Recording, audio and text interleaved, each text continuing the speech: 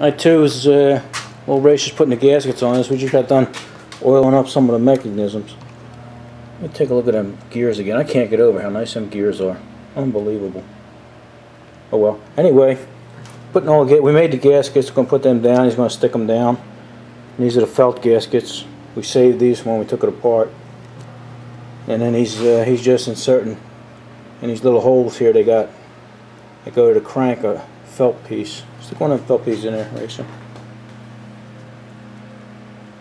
That thing gets saturated with oil and every time it, it stays wet and keeps keeps everything lubricated. Modern technology they call it. Alright, we're going to continue on put the case back together now. Alrighty. Alright tubes, here's a little update on what we got done so far. We got the we put the gaskets on, put the cover back on. Gives a new brass plug up top. Put the drain plug on over here. And come over this side. What you do over here, Racer? Uh, we got a couple covers to put on here. Uh, you got the governor cover put on, governor. and then then the latch key. What is that? That's a push rod. Push yeah, rod push cover. rod cover. The drain. We got a new drain. We put a new brass drain over there, and then a, another brass plug over here.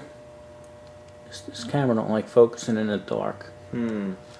Now we're gonna uh, we're gonna put the head on and the carburetor, the wheels, the flywheels, and uh, and then we'll give you another update. Alrighty. Alright, tubes, we're gonna update you here.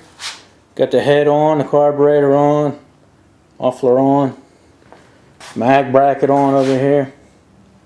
Even all your uh, mechanisms here for the for the magneto and stuff. Everything's on except the flywheels. Me and Racer are going to uh, stick it on the cart. We're not going to mount it. We're just going to stick it on there so we can put the flywheels on. And then uh, might have to put a riser on it, you know, to raise this motor up a little bit because it's going to sit low on that cart, but uh, we'll see. Alright, we'll show it to you when we get it on there. Alright, tubes. We got the engine. We put it on the cart here. We all, it's only mocked up now. We put the decal on it, Racer made, but when we put it on, it bled through and you can see it's it's not yellow like it should be. It's dark red. But that that's uh, that's because of the ink in the printer, I guess, because we put the same sticker on a white bucket here and it came out pretty good. But I'm happy with it. I mean, we'll deal with it. It's, it is what it is, right? Right, tubes? But uh, we're going to have to raise it up. we got it sitting on a couple of 2x4s there. We're going to buy some uh, aluminum, 2x4 aluminum, and then put it on.